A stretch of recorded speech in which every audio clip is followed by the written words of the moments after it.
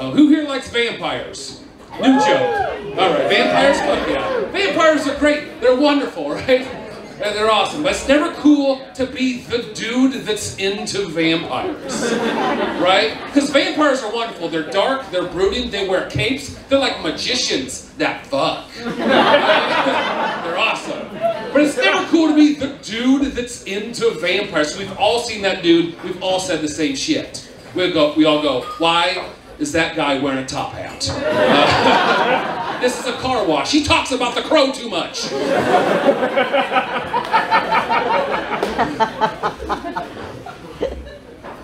I like vampires. I like, I like vampires. You ever meet someone so into vampires that they have a weird vampire name? A weird goth name? Yeah? What, what's my name? My name is Zach, she said it earlier. yeah, I have met those folks. It's always something fucked up like, Ugh, my name is D'Artagnan. the Dark Pope. what? Why?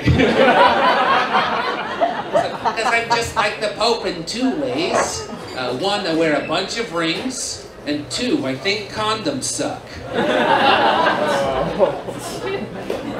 I don't think we got that joke. Joke about the Catholic Church's stance on contraception. Alright? I don't think the Pope's out there raw dogging.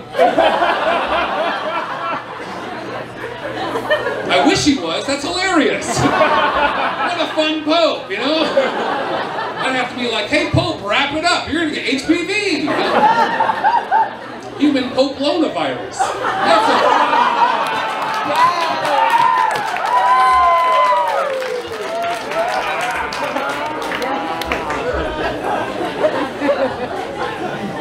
supposed to be afraid of vampires, well, I don't understand, right?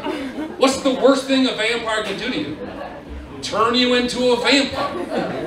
That sounds great. It's like, oh no, I'm a vampire. I guess I'll never die? Yeah. I guess I'll just drink a bunch of wine on antique furniture. Shit, you turned me into my grandma.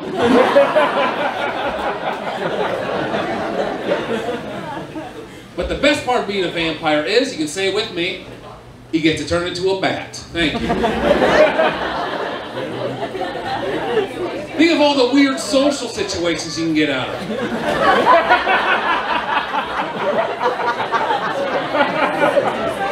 Someone's like, Zach, you wanna come to my baby shower? I'm like,